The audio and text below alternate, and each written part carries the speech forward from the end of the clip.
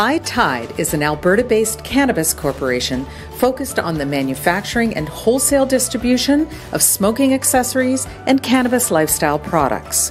High Tide is a vertically integrated company with portfolio subsidiaries including RGR Canada Inc., Kush West Distribution Inc., Smokers Corner Limited, GrassCity.com, Canna Cabana Inc., and the majority of Kush Bar Inc. High Tide Incorporated trades on the CSE under the ticker symbol HITI. Joining me now is Raj Grover. He's the CEO of High Tide Inc. Raj, welcome to the show. Thank you for having me. It's so great to finally have you here. I have to get you a little present for hosting me. For me! All for you, my Little friend. me! All for you. And that's a Wow. pre-launch piece as well. So this is limited edition. It's not out yet. So we're launching that on February 28th at a convention in Vegas. What have we got here? Well, you've got an all-in-one piece signed by Snoop, of course. Yeah. So you know you can facilitate this uh, for herbs, and when dabs are legal in Canada, uh, you, then you've got it all. Until then, you got to save your dab tool there, but everything else works. So this is my dab deck. That's right. And the- That's your but what about this one? That's a carb cap to control the airflow of your dab. Wow. This so one's your herb bowl, which is interchangeable, and, this that's your dab tool. Beautiful glass. Yes, this is designed by ourselves in Snoop in California, Uh-huh. and and manufactured overseas in one of our facilities. Well, I'm going to get high as fuck tonight just trying it on out. Hey, Look at that. Thank you, brother. that. That's awesome. Leave that it. right there. You got it. For those who don't know, what does High Tide do? So, you know, High Tide is 10 years in business. We're celebrating our 10th year. Um, so, High Tide started in 2009 with a single store operation called Smoker's Corner. And today we're made of six different operating entities. So, we've got, to simplify it, we've got two operating entities in the wholesale distribution mm-hmm. division, which is manufacturing, wholesale, and distribution. So, we sell, you know, water pipes, hand pipes, Sherlocks, grinders, vaporizers, you name it. The difference between us and any other regular distributor in the cannabis industry is we manufacture 75% of our catalog, just like that piece over there. So, you know, we have seed to sale margins when it comes to accessories. So that's the wholesale division. Um, what we're very proud of in our wholesale division is we've also cornered the paraphernalia licensing market. So we've got licenses such as Snoop, Trailer Park Boys, Paramount Pictures, Lionsgate Studios, Guns N' Roses, Sublime, to name a few. Wow. Um, and counting every day. And Midas letter.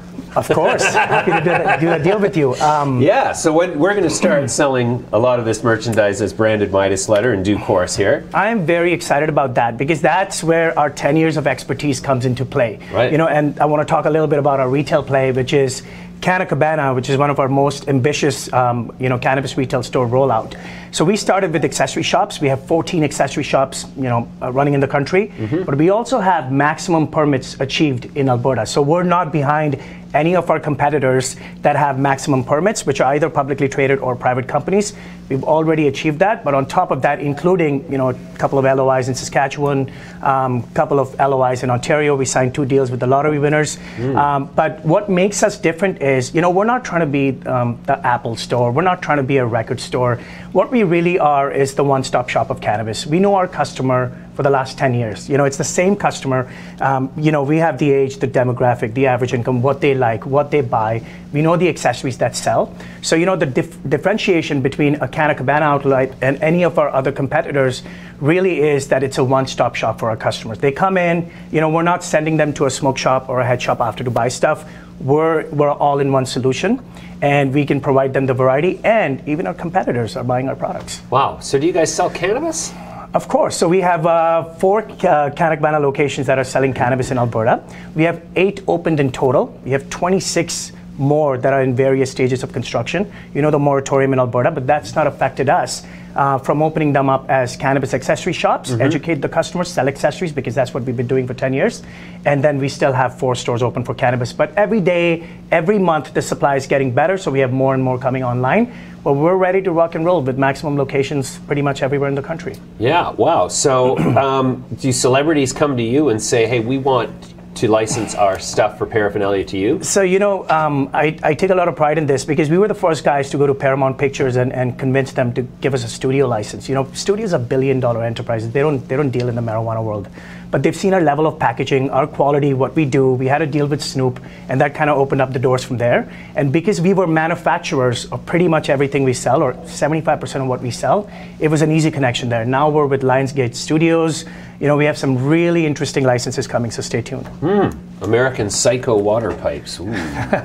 um, Raj, you've been the recipient of uh, pretty significant investment from uh, one of our favorite companies, Aurora. Uh, they put $10 million in on February 13th, and uh, that's a coup no matter how you cut it. What attracted Aurora to High Tide?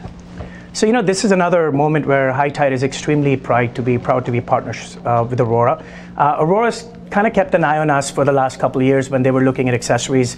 Um, not just investing $10 million in High Tide, they've also given us our largest PO to date. Mm. And we're not only manufacturing Aurora branded accessories, but we're also distributing it through our platforms uh, and our 3,000 stores worldwide. So the Aurora name gets out. Um, you know, Terry's kept a close eye on our accessories business, and it's just taken off from there. 3,000 stores worldwide? That's right. Our accessories are sold in 3,000 stores worldwide in 20 plus countries. Wow. That's incredible. So, can I ask you, what does the revenue picture look like in 2019? So, when we were a private company, um, last year, 2017, our 2018, our revenue was $10 million.